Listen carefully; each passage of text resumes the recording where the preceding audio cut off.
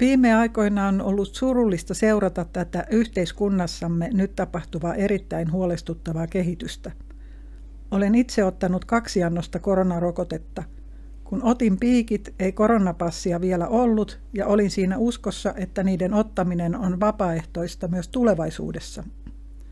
Kun seuraa tämän päivän tilannetta, tuntuu kuin olisin tullut huijatuksi. Ihmiset on jaettu kahteen ryhmään rokotestatuksen perusteella. Jos koronapassissa ei ole todistusta riittävästä määrästä piikkejä, yhtäkkiä sinua aletaan kohdella kuin toisen luokan kansalaista. Väkisinkin sitä ihmettelee, mitä ihmettä täällä nyt tapahtuu, kun itsestään selvinä pidetyt länsimaisen sivistysvaltion perusarvot on heitetty romukoppaan, ja vielä aivan uskomattoman kevyin perustein, eikö se tosiaan tämän enempää vaatinut. Tässä on joutunut pohdiskelemaan paljon myös omaa ammattietiikkaansa. En haluaisi lääkärinä suorittaa potilaille lääketieteellistä toimenpidettä tietäen, että potilas on tullut toimenpiteeseen vastoin omaa tahtoaan, kiristyksen, painostuksen tai uhkailun vuoksi. Oli potilaana sitten esimerkiksi hoitaja, jota kiristetään työpaikkansa menettämisellä, tai painostukselle erittäin altis nuori lukiolainen, joka haluaisi vain päästä elämään nuoruuttaan kavereidensa kanssa. Koronapassia käytetään nyt kiristyksen välineenä, ja vaikka tätä asiaa miten päin tahansa olen päässäni yrittänyt pyöritellä, on tämä toiminta yksinkertaisesti eettisesti väärin. Potilaalla on oltava oikeus saada kaikki tarvittava tieto toimenpiteen hyödyistä ja haitoista avoimesti ja sen jälkeen tehdä oma päätös, haluaako toimenpiteeseen osallistua. Tämän on oltava se peruslähtökohta kaikelle tekemiselle alalle. Onko todella niin, että kaikki me sotealan työntekijät ja opiskelijat, jotka jaamme tämän eettisen näkemyksen, olemme nyt muka soveltumattomia alalle? Jos todella on näin, niin pistää kyllä miettimään, millaiseksi yhteiskuntamme on muuttumassa. Olemme tietenkin kaikki huolissamme koronaviruksesta, eikä kukaan soteammattilainen varmasti halua tartuttaa tätä virusta potilailleen. Onko kuitenkaan hoitohenkilökunnan pakkorokottaminen vuotavalla rokotteella lääketieteellisessä mielessäkään perusteltu ratkaisu, puhumattakaan edellä mainituista eettisistä ongelmista? Varsinkaan kun rokotteen teho leviämisen estoon näyttää jäävän entistäkin huonommaksi nopeasti valtaviruksen paikan ottavan uuden omikron-variantin kohdalla. Keskustelu rokotteen potentiaalisista haitoista ei myöskään ole vaikuttanut täysin avoimelta. Silloin kun itse olin ottanut koronarokotteet, mietin jopa olenko nyt suurempi uhka potilaille kuin rokottamattomana olisin ollut. Rokotehan suojaa itseäni vakavammalta tautimuodolta, mutta toisaalta tämän vuoksi mahdollisesti lisää riskiä, etten huomaa ollenkaan kantavani koronavirusta ja ymmärrä jäädä kotiin. Rokottamattomien luulisi pelkäävän rokotettuja, mutta jostain syystä asia näyttää olevan toisinpäin. Väistämättä tässä syntyy nyt vaikutelma, että kyse on enemmän politiikasta kuin lääke- tai hoitotieteistä.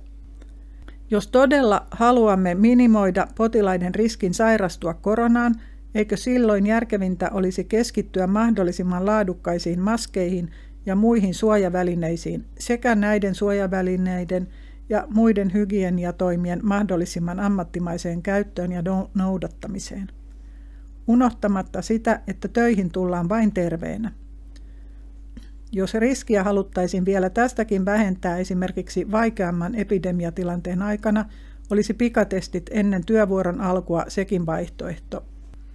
Lisäksi varmistettaisiin, että ne potilaat, jotka ovat suurimmassa riskissä tai muuten huolissaan koronasta, saisivat halutessaan rokotteensa ja kaikki tehosteet ajallaan – sillä siinä missä osa vaatii koko kansan pakkorokottamista, niin en ole kuullut vielä yhdenkään vaativan rokotteiden kieltämistä niitä vapaaehtoisesti haluavilta aikuisilta ihmisiltä. Väkisinkin herää kysymys, onko tavoitteena nyt suojella potilaita vai ainoastaan nostaa hoitohenkilökunnan jo ennestään korkea rokotekattavuus 100 prosenttiin keinolla millä hyvänsä, välittämättä siitä, onko sillä mitään käytännön merkitystä potilasturvallisuuden kannalta. Onko tarkoituksena saada sotealojen kautta vähitellen koronapassi käyttöön myös muille aloille? Koronapassi on jo nyt aiheuttanut valtavasti pahoinvointia, varsinkin nuorille. Tulevaisuus on epävarma, kun ei tiedä mihin ehtoihin joutuu vielä myöntymään, jotta saisi passin pidettyä vihreänä jatkossakin. Vaikea suunnitella eteenpäin opiskeluja, uraa, perhettä, omaa asuntoa ja muita elämälle tärkeitä asioita, kun kaikki voi hetkessä olla mennyttä. Tämä kansan kahtia jako koronapassilla on saanut myös ystäviä, puolisoita ja perheenjäseniä kääntymään toisiaan vastaan. Osa haavoista voi olla niin syviä, ettei ne enää täysin parane. Nuorten mielenterveyspalveluiden kysyntä tulee kasvamaan entisestään, ja kun henkilöstöresurssit ovat jo muutenkin tiukilla, ei rokottamattoman hoitohenkilökunnan poispotkiminen tule asiaa helpottamaan. Surullisena olen seurannut, miten rokottamattomat ja rokotetut sotealan ammattilaisetkin kääntyvät toisiaan vastaan. Toivotaan terve menoa vaan työtovereille, joiden kanssa on yhdessä selvitty rankasta korona-arjesta myös aikana, jolloin kellään ei vielä ollut rokotteita. Pyytäisin vielä ennen kuin leimaatte minut foliohatuksi tai muuksi sellaiseksi, että pysähtyisitte edes hetkeksi ajattelemaan näitä asioita ihan vakavasti – Onko koronapelko nyt sumentanut järkevän ajattelun? Onko se suunta, johon koronapassilla tätä yhteiskuntaa nyt viedään, todella se suunta, johon haluatte mennä? Asioista on voitava keskustella avoimesti. Nyt voidaan vielä kääntyä takaisin, jos todetaan, että olemme menossa väärään suuntaan. Jos vain voisimme rauhoittua, miettiä hetken, lopettaa muiden haukkumisen ja syyllistämisen – päästää irti vihasta ja kääntyä yhdessä takaisin kohti vanhaa normaalia. Meitä ei pidä panttivankeina rokottamattomat eikä koronavirus. Meidän ei tarvitse uhrata arvojamme ja hienoa vapaata yhteiskuntaa tämän viruksen vuoksi. Kun luovumme koronapassista ja kaikesta tästä kiristämisestä, painostuksesta ja pakotuksesta, se on meidän kaikkien etu, niin rokotettujen kuin rokottamattomien – Olemme kaikki samassa veneessä, sillä vaikka koronapassi nyt olisi vihreällä, se ei automaattisesti tarkoita, että se olisi sitä myös aina tulevaisuudessa. Yhdessä me voimme vielä kääntää suunnan.